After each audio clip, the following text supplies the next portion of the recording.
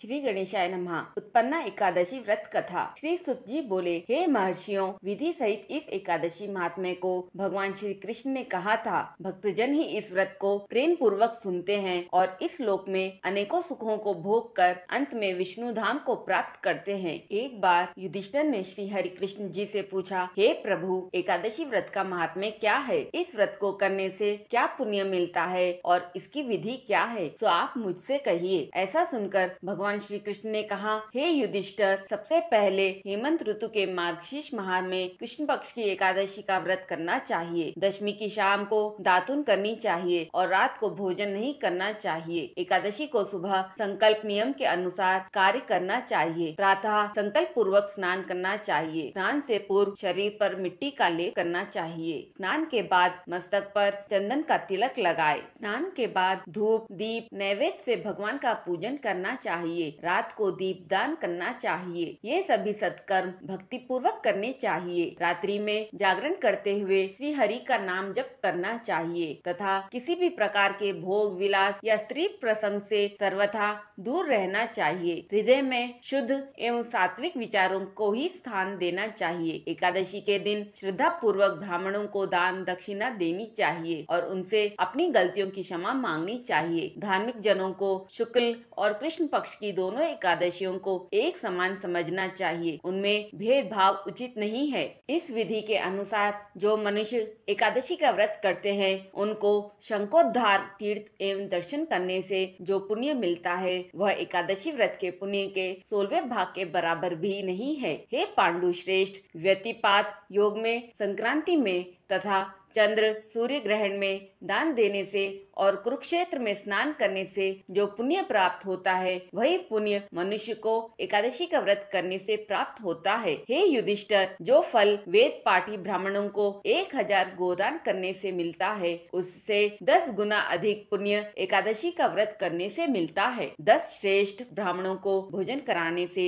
जो पुण्य मिलता है, वह एकादशी के पुण्य के दसवें भाग के बराबर होता है। निर्जल व्रत करने का आधा फल एक बार भोजन करने के बराबर होता है। अतः एकादशी का व्रत करने पर ही यज्ञ, दान, तप आदि मिलते हैं, अन्यथा नहीं। अतः एकादशी को अवश्य ही व्रत करना चाहिए। इस व्रत में शंख से जल नहीं पीना चाहिए। मांसाहार तथा अन्य निरामिष भोजन एकादशी के व्रत में सर्वथा वर्जित है। एकादशी व्रत का फल हज़ार यज्ञों से भी अधिक है। ऐसा सुनकर युधिष्ठर ने कहा, हे भगवान, आपने इस एकादशी के पुण्य को अनेक तीर्थों के पुण्य से श्रेष्ठ तथा पवित्र क्यों बतलाया है? यह सब आप विस्तार पूर्वक कहिए। भगवान श्री कृष्ण बोले, हे कुंती पुत्र, सतयुग में एक महाभयंकर दैत्य हुआ था। उसका नाम मूर था। उस दैत्य ने इंद्र आदि देवताओं पर विजय प्राप्त कर उन्हें उनके पद से च्युत कर दिया। तब देवेंद्र ने शंकर भगवान से प्रार्थना की, हे कैलाशपति, हम सब देवता मूर दैत्य के अत्याचारों से दुखी होकर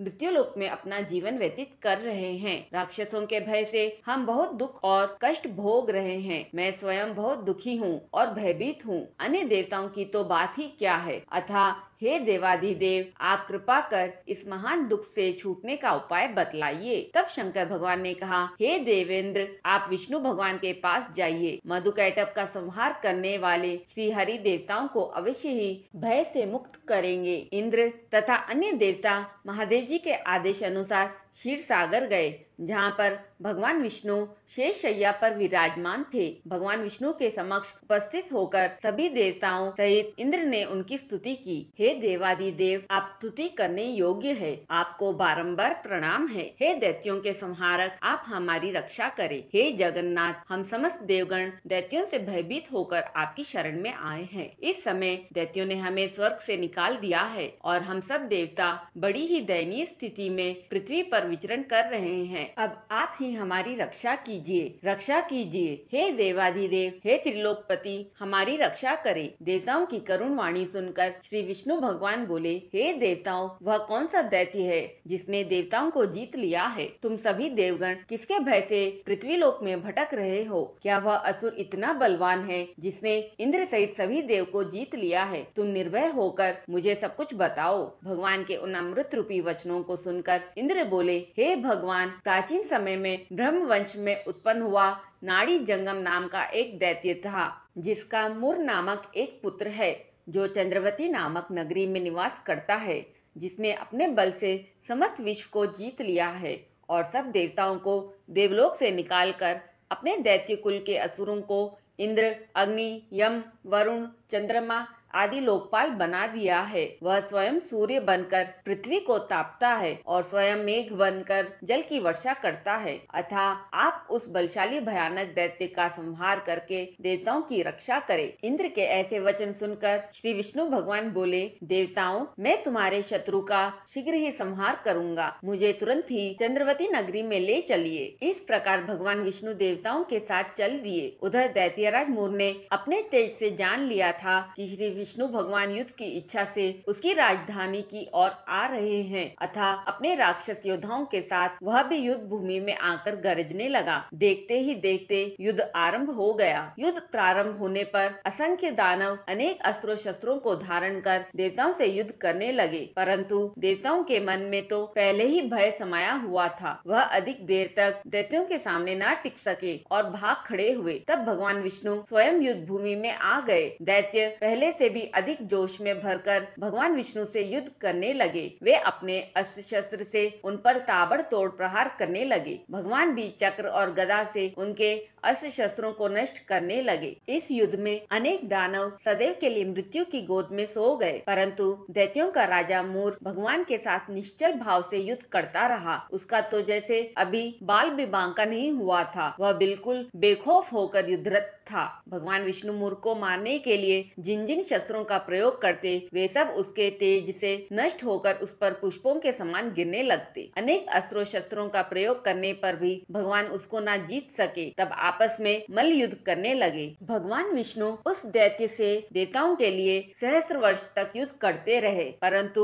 उस दैत्य को न जीत सके। अंत में भगवान शांत होकर विश्राम करने की इच्छा से बद्रिका आश्रम स्थित अड़तीस कोस लंबी एक द्वार वाली हेमवती नाम की एक गुफा में प्रवेश कर गए। हे युधिष्ठर, उन्होंने उस गुफा में शयन किया। वह दैत्य भी उनके पीछे पीछे चला आया था। तब श्री विष्णु भगवान को सोते हुए देखकर वह उन्हें मारने को तैयार हो गया। उसका ख्याल था कि मैं आज अपने चिर शत्रु को मारकर हमेशा हमेशा के लिए निष्कंटक हो जाऊँगा। किंतु उसकी वह इच्छा पूर्ण न हो सकी, क्योंकि उसी समय भगवान विष्णु की देह से दिव्य वस्त्र धारण किए एक अत्यंत सुंदर कन्या उत्पन्न हुई और दैत्य को ललकार कर उससे युद्ध करने लगी। उसे देखकर दैत्य को बड़ा आश्चर्य हुआ और वह सोचने लगा कि यह ऐसी बलवान कन्या कहाँ से उत्पन्न हुई और फिर वह दैत्य उस कन्या से लगातार युद्ध करता रहा। कुछ समय बीतने पर उस कन्या ने क्रोध में आकर उस दैत्य के अस्त्र शस्त्रों के टुकड़े टुकड़े कर दिए। उसका रथ तोड़ डाला। तब तो उस दैत्य को बड़ा ही क्रोध आया और सारी मर्यादाएँ भंग करके वह उससे मलयुद्ध करने लगा। उस कन्या ने उसको धक्का मारकर मूर्छित कर दिया और उसकी मूर्छा टूटने से पूर्व ही उसका सिर काट कर धड़ से अलग कर दिया। सिर कटते ही वह दैत्य पृथ्वी पर गिरकर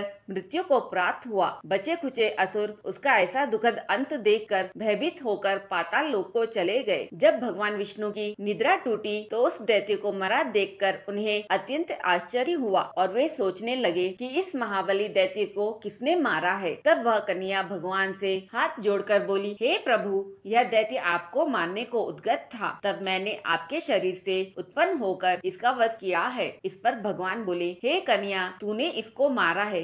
अथा मैं तुझसे अत्यंत प्रसन्न हूँ। इसे मारकर तूने तीनों लोगों के देवताओं को सुखी किया है। इसलिए तू अपनी इच्छा अनुसार वरदान मांग। मैं तेरी हर इच्छा को पूर्ण करूँगा। कन्या बोली, हे जगदीश्वर, मुझे यह वरदान दीजिए कि जो भी प्राणी या देव मेरा व्रत करे, उसके समस्त पाप नष्ट हो जाए और अंत में उसे स्वर्गलोक की प्राप्ति हो। मेरे व्रत का आधा फल रात्रि को मिले और उसका आधा फल एक समय भोजन करने वाले को मिले, जो श्रद्धालु भक्ति पूर्वक मेरे व्रत को करे, वे निश्चय ही विष्णु लोक को प्राप्त करे। जो मनुष्य मेरे दिन तथा रात्रि को एक बार भोजन करे, वह धन धान्य से भरपूर रहे। कृपा करके मुझे ऐसा वरदान दीजिए। भगवान विष्णु बोले, हे कल्याणी, ऐसा ही होगा। मेरे और तेरे भक्त एक ही होंगे और अंत में संसार में प्रसिद्धि को प्राप्त होकर मेरे लोक को प्राप्त करेंगे। हे कन्या, तू एकादशी को पैदा हुई है, इसलिए तेरा नाम भी एकादशी हुआ। और क्योंकि तू मेरे अंश से उत्पन्न हुई है इसलिए संसार में तुझे उत्पन्ना एकादशी के नाम से जाना जाएगा तथा जो मनुष्य इस दिन व्रत करेंगे, उनके समस्त पाप जड़ से नष्ट हो जाएँगे और अंत में वे मुक्ति को प्राप्त करेंगे। तू मेरे लिए अब तीज, अष्टमी, नवमी और चौदह से भी अधिक प्रिय है। तेरे व्रत का फल सब तीर्थों के फल से भी महान होगा। यह मेरा स्पष्ट कथन है। ऐसा कहकर